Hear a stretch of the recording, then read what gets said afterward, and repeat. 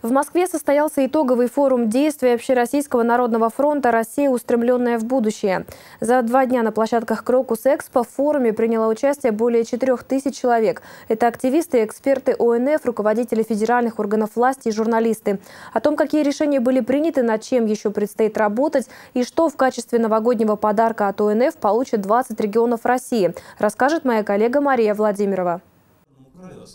Форум НФ «Россия, устремленная в будущее» самый большой и значимый в истории Народного фронта. Два дня фронтовики и федеральные чиновники обсуждали реальные проблемы страны и вырабатывали пути их решения.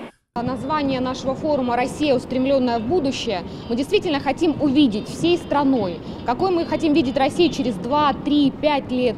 Мы хотим предложить президенту, администрации президента, правительству огромное количество наработок наших экспертов, активистов Общероссийского народного фронта. И все их мы надеемся опубличить, конечно, лидеру движения, президенту страны Владимиру Владимировичу Путину. Обсуждение проблем прошло сразу на шести тематических площадках форума. Одной из самых популярных в год экологии в России стала площадка «Экология будущего. Устойчивое развитие». Впрочем, несмотря на то, что год экологии завершается, большая работа в этом направлении только в самом начале своего пути. Один из проектов, который эксперты уже называют удачным – генеральная уборка «Интерактивная карта свалок». Когда мы э, начали анализировать э, ситуацию с реформой Э, мусорной отрасли, которая предполагала э, создание территориальных схем обращения с отходами, э, выбор региональных операторов, определение тарифов, мы увидели, что ситуация очень сложная, и в прошлом году, примерно в это же время, на форуме действий мы информировали нашего лидера, а он в ответ сказал, что, наверное, было бы неплохо шире опираться на Э, мнение неравнодушных граждан, вовлекать их в выявление того огромного числа, мы тогда еще не представляли, сколько на самом деле незаконных свалок по нашей стране, для чего было предложено подумать о создании некого геоинформационного ресурса. И мы э, э, буквально через несколько месяцев разработали э, проект, который называется «Генеральная уборка». За время реализации проекта фронтовиками принято 16 тысяч обращений от граждан, взято в работу более 7 тысяч заявок, ликвидировано более 7,5 тысяч свалок. И эта работа будет продолжена, в том числе и в арктической зоне. Ведь только в Ненецком округе отмечено около 200 объектов складирования мусора, половина из которых накопленный экологический ущерб. Это то, что когда-то оставили военные, работники гидрометслужб и нефтяники. Для систематизации работы в данном направлении ненецкие фронтовики на форуме выступили с предложением предложением. В следующем году сделать полную инвентаризацию мест накопленного ущерба в арктической зоне, для того, чтобы понять все-таки, какой мусор у нас в Арктике существует и что мы должны убирать. Потому что эта работа, несмотря на то, что было много поручений, она не была выполнена. Еще одно предложение Ненецкого округа, которое также было озвучено на площадках форума, касается усовершенствования проекта ОНФ «Карта свалок». Как наш опыт показал, опыт Ненецкого автономного округа, а, где объектов а, там, живых каких-то поселков, ну, то есть ориентиров, так скажем, на карте ориентиров очень мало. То есть если в центральной части там, России отметить место расположения карт, на карте свалок довольно-таки просто, у нас таких ориентиров очень мало. То есть у нас река, озеро, вот, ни леса, ни населенных пунктов, ничего нет. И у нас возникают проблемы как раз по э, локализации этих объектов на карте. То есть мы выступаем за предложение э, модернизировать э, портал, вот, сделать э, доступ к координатам, и чтобы вводить точки не тыкая на карту курсором мыши, а вводить через координаты. Лидером в реализации проекта «Генеральная уборка» является Татарстан. За 11 месяцев этого года в республике было выявлено более 500 несанкционированных свалок, 416 из которых или 75% уже ликвидировано. Там, где десятилетиями в республике были зловонные кучи мусора, теперь растут деревья. Где-то после рекультивации сделаны зоны отдыха. Впрочем, Республика Татарстан не единственная в списке регионов, где к реализации проекта подошли с полной ответственностью. В рамках форума Общероссийский народный фронт подвел итоги реализации проекта «Генеральная уборка». Те субъекты, которые успешно справились с поставленной задачей, а это Ростовская область, Краснодарский край, Республика Мариэл, Кировская, Томская, Рязанская, Тульская область, Республика Татарстан, Новосибирская область и Московская область в качестве подарка к Новому году за успешную реализацию проектов получат вот такие замечательные венники. Ну а те регионы, которые провалили проект, вот такие метлы. Но не как намек на то, чтобы убраться из проекта, а как намек на то, чтобы наконец-то навести порядок на своих территориях. Генеральная уборка в стране продолжится не только за счет ликвидации свалок. В этом направлении еще масса других амбициозных проектов. Комфорт – это не только то, что окружает, это и то, в каких условиях проживают граждане. В текущем году запущен проект «Комфортная городская среда». Продолжается реализация программ капитального ремонта многоквартирных домов. Наряду с созданием комфортной городской среды необходимо параллельно в тесной связке развивать и доступную среду для людей с ограниченными возможностями здоровья.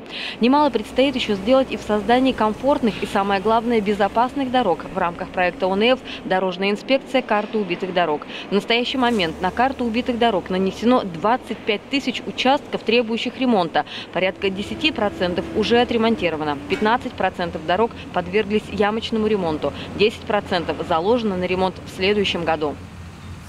Продолжены будут и другие проекты Общероссийского народного фронта, например, касаемые медицины. Качество медицинской помощи, ее доступность, поддержка семьи и детей. Эти темы стали ключевыми в рамках рабочей площадки «Медицина будущего здравоохранения». В области здоровья сбережения уже сделано немало конкретных шагов. Какие именно, не просто рассказывает, а показывает компания «Медицинские информационные решения». Это два абсолютно бесплатных мобильных приложения, как для врачей, так и для пациентов. Справочник врача – это помощник в принятии взвешенных клинических решений, поясняют разработчики. За три года приложением стали пользоваться более 330 тысяч специалистов. В нем сегодня э, интегрировано более чем 150 медицинских калькуляторов, справочные данные, доступ к Федеральной электронной медицинской библиотеке, доступ к крупнейшей базе на иностранных языках PubMed, уникальные справочники, разработанные совместно с различными медицинскими организациями, и плюс новостная лента о последних достижениях медицины. И применение такого приложения э, позволяет доказанно уменьшить время приема специалиста и увеличить скорость принятия клинического решения. Использовать данное приложение врачи могут, находясь даже в самой отдаленной глубинке, включая и поселение Ненецкого округа. Главное – наличие интернета.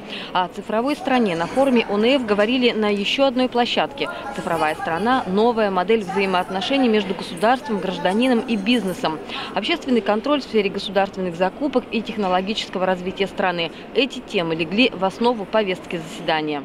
Тема площадки экономика, она связана с, именно с цифровой экономикой. Да? На мой взгляд, это именно то направление, которое бы позволило нам сделать значительный шаг вперед, поскольку цифровизация э, э, вот всех этих процессов экономических, это по признанию всех экономистов и э, всех лагерей, всех направлений, это, это тот резерв, который э, Российская Федерация еще не исчерпала. Цифровая Россия – это не только экономика. Например, московские школьники благодаря современнейшим разработкам уже забыли, что такое писать на доске мелом или показывать указкой, где находится та или иная страна на карте мира. Проект «Московская электронная школа» является частью проекта «Российская электронная школа». В этой уникальной программе заложен весь курс образования школьников с 1 по 11 классы по всем предметам, например, по географии флагов может быть турецким. Прекрасно. Найдите, пожалуйста, полуостров Малайзию. Решительным движением а руки где? мы находим на полуостров Малая Азия. Где? Чуть-чуть севернее. Стоп! Вот, да, вот, вот, вот. Физика да царица нам, нам помогла. Дальше. Крупнейший, один из крупнейших э, поставщиков урана на мировой рынок. Наш ближайший сосед, которому мы арендуем космодром Байконур. Вот Пример. это? Браво! Это Казахстан. Вот видите, как все здорово. Сейчас. Это куда-то вот сюда, мы сейчас всех научим. Вопрос. Данный урок, он, э, ну, он рассчитан на некое расширение представлений вообще о э, географии, вот, на неком нелинейном ее изучении, то есть на э, развитие мышления, на развитие образного мышления, на развитие логического мышления, на развитие представлений вообще об окружающем мире не на предметном уровне, а на уровне, ну, как принято называть, меж- и метапредметно. О инновационных образовательных методиках фронтовики говорили на площадке образования будущего. Участники отметили, заложить современные образовательные стандарты в старую форму не получится. Учителя школ должны осознать, что модель начальник-подчиненный в общении с учеником – это изживший себя архаизм. В школьной педагогике необходимо расставить новые приоритеты – воспитание целеустремленности, самостоятельности и индивидуальности. Это позволит сформировать партнерские отношения между учителем и учеником и в результате подготовить конкурентоспособного выпускника. Сейчас общая нагрузка, включая внеклассную, на учеников старших классов доходит до 60 часов, что негативно влияет на их психическое и физическое здоровье. Участники обсуждения предложили актуализировать федеральные государственные образовательные стандарты. Следует сократить объемы домашнего задания для средней школы и отказаться от домашних заданий по непрофильным предметам для старшей школы.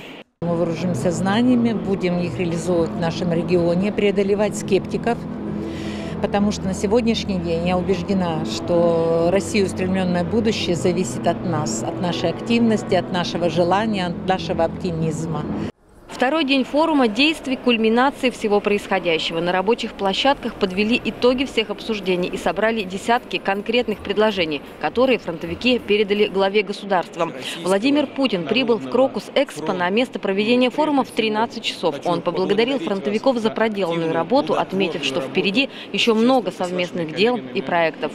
Все мы, от мала до велика, как говорят в нашем народе, все мы должны помнить, что Россия, наш народ – по сути, все наши семьи прошли через очень сложный и слишком трудный период своей истории в предыдущем веке. Через революции, войны, кардинальные изменения всего жизненного уклада. Сегодня мы обязаны беречь свою государственность и свободу, стабильность и согласие в обществе, беречь все, даже то скромное, чего мы уже добились, чтобы наши достижения и реальные перемены к лучшему были необратимыми, чтобы наша сила была направлена на пользу и развитие Отечества. Я вижу в, этом и нашу общую с вами задачу. И, конечно, свой личный долг и гражданскую ответственность и как действующий глава государства, и как кандидат в президенты Российской Федерации. Сильная, устремленная в будущее Россия нужна всем нам. И все зависит только от нас. Спасибо вам большое за поддержку. Удачи!